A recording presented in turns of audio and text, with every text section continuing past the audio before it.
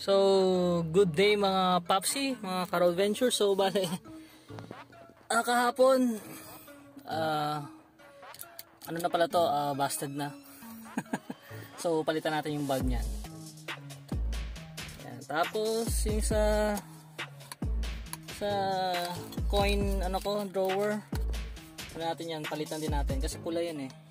Kahapon pula yan, di ba? So, ngayon, palitan natin ng LED. May T5 na ako. Tapos, yun na. T3 dito eh. So, T3 dito. Yan. Palitan muna natin. Mabilisan lang.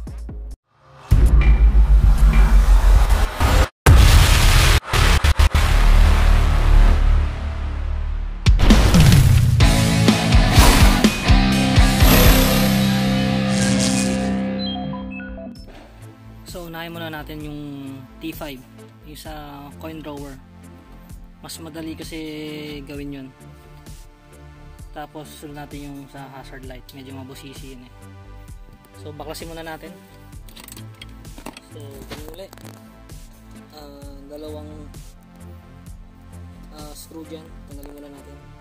So, tanggalan natin. Ingatan nyo lang na malaglag dun sa loob. Pag nalaglag yan, mahirapan kayo.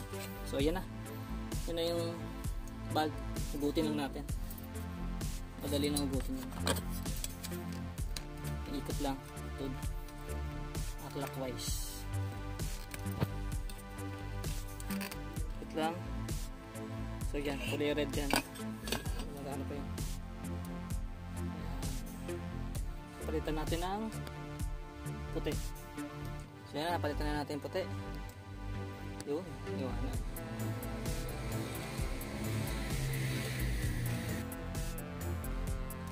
Ayan na, napalitan na natin ng puti. So, balik na natin. So, ayan po, nakabit na natin. Ayan. Tapos na natin. So, dapat hanggang dyan lang siya. Tsaka i-clip nyo dun sa loob. Ayan, clip mo muna din sa loob yung ano yan. Oh. Clip nyo muna yan doon. Ayan, so dapat hanggang dyan lang siya ganyan so, so sa loob dapat ganyan Tapos hanggang dyan lang siya. So screw na natin. Balik na natin dyan dalawa. So nabalik na natin yung screw. Balik na natin. Ayan. tapos pailawin.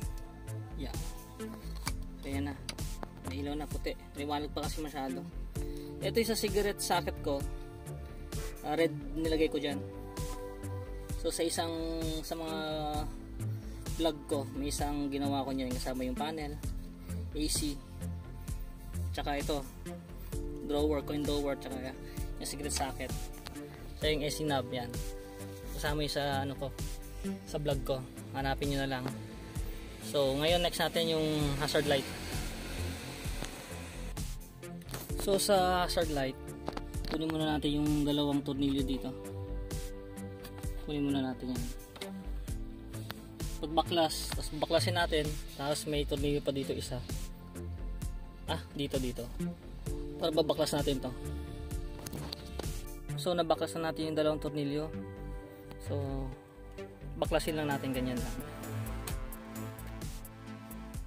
Yan, yan lang yung sa ano, socket hugot lang yan clockwise hugot yan mapapalitan nyo na yan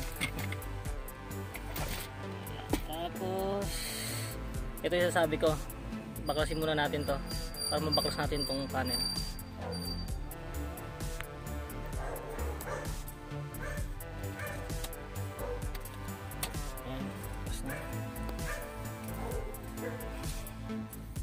So nandahan lang. Pagka baklas ng tornilyo hugutin nyo muna to. Hugutin nyo muna to tsaka nyo sunod baklasin to. So sa kakabaklas baklas ko so medyo ano hindi na ako nahirapan sa pagbaklas. Hindi na masikip. So ito ito yung clip. Ikita nyo yun tong clip. Press hugot lang yan. So ito. Itong harness ng hazard. So i-press nyo lang to. Press, tapos hugot lang. Ulit, press, hugot. Dito kasi nakakabit yan yan. So yan na yung hazard natin. So yung turo ko nga sa inyo no, sa unang vlog ko, ngayon bababaklas na talaga natin. I-push nyo muna to. Push nyo to. Tapos i-push nyo lang pababa. So ulit push nyo to. Tapos push nyo to pababa. Ayan. Ayan. Tapos na. Ito na yan. So paano baklasin to sa sa lalagayan niya. So itong clip, yung ito, ito yung green na to, nakita nyo yan. Iangat nyo yan. Sa kabila, nakalock pa. So iangat muna natin yan katulad dito. Para mabaklas. So ayan. Pares ko nang nabaklas. Kabilaan. So dandahan lang tayo kasi may maliit dito na ano.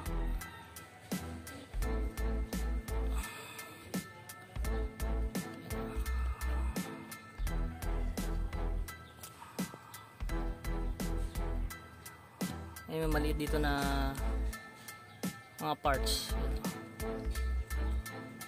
Yan. So, yan. Tsaka yung spring na yan, yan o. Ah, ganyan yan. Kalagayan dyan dito. Yan. Ah, ganyan yan. Yan yung spring. Eh, nagtutulak. So, huwag yung iwala yung spring na yan. Ayan o, yung spring.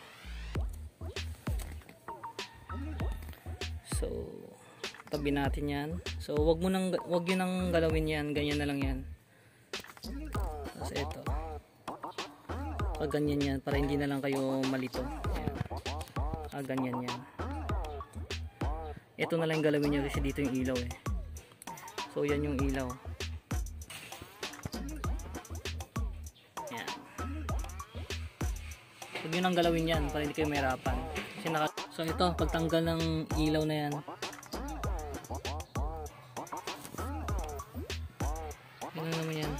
Hugutin nyo lang.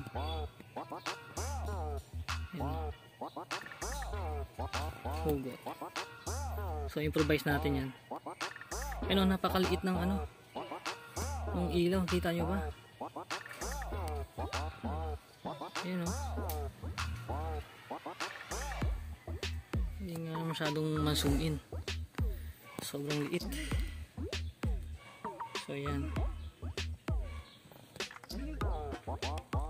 so kung nakikita nyo ito yung stock. Ito yung bago natin bili. So magkaiba yan. So tanggalin muna natin yung binili nating ilaw dito. Tanggalin natin yan. Tapos ikakabit natin dito sa stock. Tanggalin natin yung mga wire dito. May wire yan eh. So ilalagay natin dito sa stock para mag fit siya. Baklas tayo ng ilaw sa binili nating LED.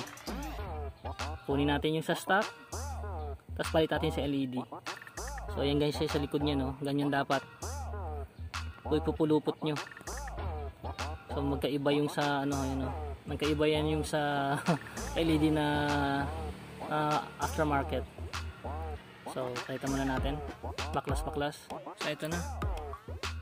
I-cut nyo na lang. Yan o. May pang pang-cut kayo. I-cut nyo na lang sa ilalim. Kasi medyo daming wire nakabuhol eh. Hirap tanggalin. So, tapos hugutin nyo na lang. Yan. So, yan na. So, yung sa at dito, yung sa LED natin, tanggalin din natin yan sa pagkapulupot tanggalin natin yan tapos ikakabit natin dito so ito na tinanggal ko sa pulupot hugutin na lang natin.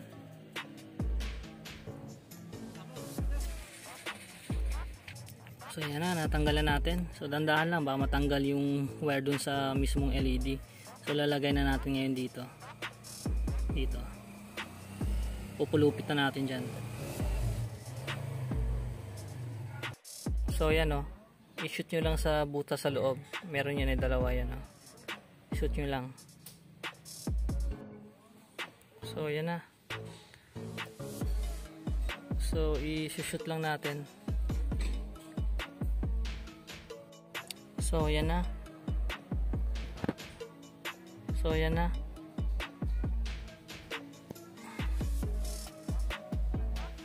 So yan na, yan na. Yan. Tapos yung nakausi na wire na ibalik ulit natin sa baba. So yan na itsura. Sa iba, yung sobrang wire na yan, pinuputol nila. Ako hindi na. Basta magkaroon lang ng contact dito. Yan. Sa ipitan niya. Ito, ito. Itong contact. Dapat dyan siya ko-contact. So pasok muna natin ang importante kasi yung contact niyan dapat ganyan wag lang magkadikit kasi magsi short circuit yan syempre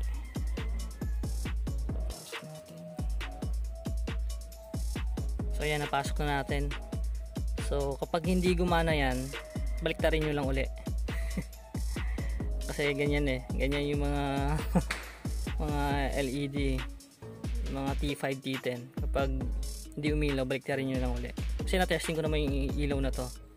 So testing natin. So ang pag-testing yan so eto huwag mo nang ikabit to. So eto saksak lang natin dun sa harness yung puti ayan so ayan na may click sound na so ang pagpalit niyan ganyan di ba ipipress nyo muna to ito ipipress nyo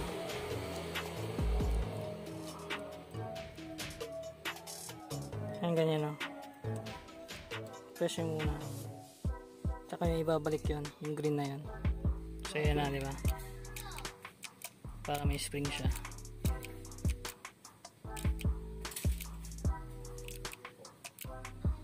Okay, so yan na, naka-click na siya uli. So testing natin. So ayos na.